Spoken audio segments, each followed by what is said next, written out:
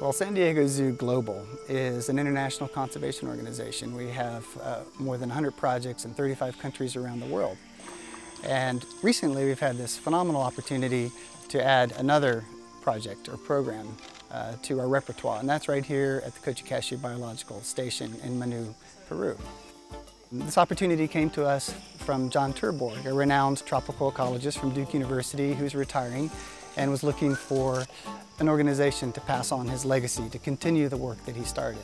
And so we've taken up that baton and are ready to run with it and take Cocha Cashu into the future. To get here, it's quite a journey. It's really quite an adventure. If you start in the United States, for example, you have to board a plane, fly about nine or 10 hours to Lima, and then board another plane to Cusco, which is just a short hour flight. And then the real journey begins.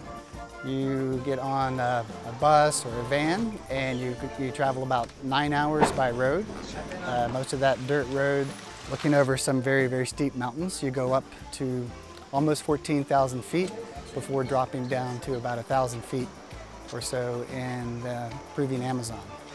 You hop a boat and you travel to Boca Manu, takes about a day. And then one or two days upriver, up the Manu River to the station and it can take one day if the water's high, two days if the water's low. The Cocha Cashu Biological Station offers really quite simple accommodations, um, almost primitive. Pumas, pumas, pumas, aquí cocha uno. We have a few, uh, a few houses, a kitchen, uh, some office space, but uh, we have and we have uh, power and sometimes we have internet connection, but it, it, it's variable. Sleeping is in tents. We have little, cl little clearings in the forest where you set up your tent um, and then we have a wonderful trail system that you can use to get into the forest and conduct your studies and learn about the ecology of this area.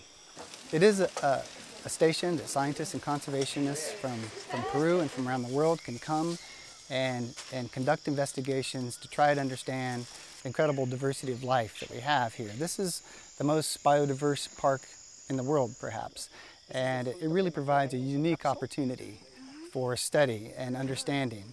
Um, there's few places left on the planet that are still this remote and this pristine and this untouched.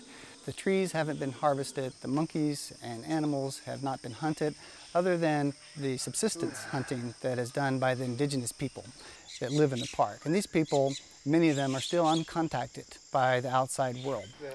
So in a world that is rapidly changing because of human influence, to have a place like Cocha Cashu where we can come and understand nature as it should be, as it has operated for millennia, is just really a unique opportunity.